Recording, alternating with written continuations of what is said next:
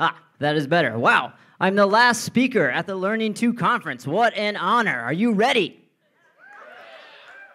Now, there has been a lot of amazing L2 talks here, but I do want to bring up one talk that was especially amazing, although I did take some uh, offense to. John Rinker brought up the fact that there's three things you should not leave to a robot sex, voting, and making coffee, which is a little bit frustrating because in the next few days I was planning on doing all three of those. But instead, let me just tell you about this amazing costume as, as an alternative. Now, what this costume does is I have a flashing LED matrix here that is tied to my own heart rate. And when I talk about really boring things like extended essays and standardized test scores, it slows down. But when I talk about exciting things like SpaceX rockets and fire breathing robots, it speeds up as my enthusiasm builds. Now, another thing that's amazing that allows me to be a walking robot DJ is it makes noises. Check this out. It's my older brother.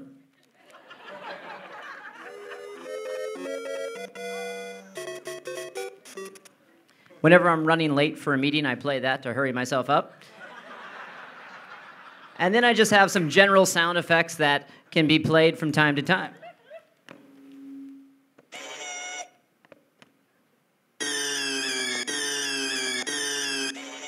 I don't really know what I'm hitting here. I'm just hitting buttons.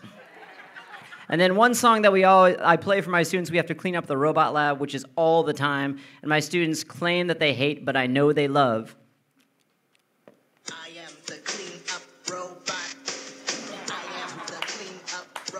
Kindergarten songs being played for high school kids is fantastic. Now, this is a Halloween costume, so let's talk about Halloween. There's a shot of my brothers and I back in the day during Halloween, and I'm the one dressed as a cardboard fork. that was my first self designed costume, and I'm extremely proud of that one. Great, great credit to my dad for allowing me to, to work with box cutters in order to make that happen. Now, I'm less uh, proud of the fact that in the Halloween competition that my brother and I have had since then, uh, he's defeated me in the last three years for best costume. You can see some of his winning ones right there. But I'm hoping that if this is being recorded, which I think there's a fair chance that it is, that I can drop a YouTube bomb on his head this October 31st and win the competition. Now, Halloween has been a very important and even increasingly important part of our family. There's a picture of my very pregnant wife, Jillian, on October 30th, dressed as a magic eight ball. One day after that, Geostegosaurus dingrando entered the world at 1 p.m. on Halloween, and his first costume was a Subway sandwich.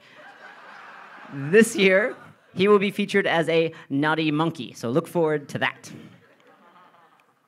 Obviously, I have a passion for robotics.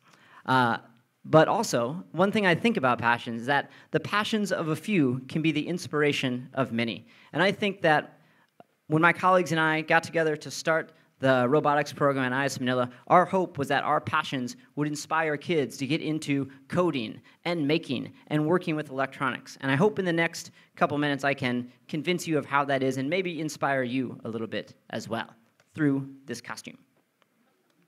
Now, as a design technology teacher, I love sketches, and this started as a sketch on paper, but then quickly went to CAD. And on the software, I drew up these wooden panels and I cut them out on the laser cutter because I really do enjoy cutting anything on a laser cutter. And then I very quickly moved on to the electronics. And this flashing matrix is powered by an Arduino microcontroller, which was featured in my extended session and is used in many of our student projects and in my classes. But then below here, the part that makes the noise, that's a touch board. And it's a beefed up Arduino that's capable of storing sound files and playing sound files. And next semester, my students are going to design an educational talking robot that they'll then present to an elementary school class. And those kids will be able to touch different parts of the robot, and the robot will say things and hopefully teach them something. Or my students will just design a robot that plays 12 different farting noises, and it'll be the greatest robot that any of these kids have ever seen. This costume will not just be used for Learning 2 and my son's birthday slash Halloween. I'll also be renting myself out for children's parties, if anyone is interested in that. But it'll also be used in November at our invitational robotics tournament at IS Manila. And it'll also be used in March at our school maker fair in order to inspire kids to get into robotics and programming and making and electronics. Now, I think it is inspiring many of our high school students. Here's a shot of one of our past robotics club presidents who's now at Georgia Tech University. And he came back to speak to our club about the work that he was doing in robotics in university. And many of our students were inspired by hearing about the doors that are open to them because they can program and because they can actually do stuff with their hands. Now, it's not just high school boys who are being inspired by this, like you see in this picture. It's all of our students in our school, all the way down to the elementary school, boys and girls. Since 2012, we've had over 400 high school kids take a robotics class. Over 800 middle school kids have taken a robotics class. And over 1,000 elementary school kids have looked at those 1,200 older kids and thought, well, robotics is pretty cool. I'd like to be a part of that. And that brings me. That brings me back to the fact that the passions of a few can be the inspiration of many.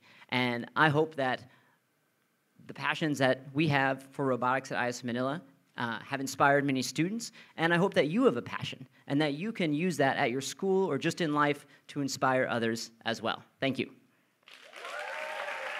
Thank you.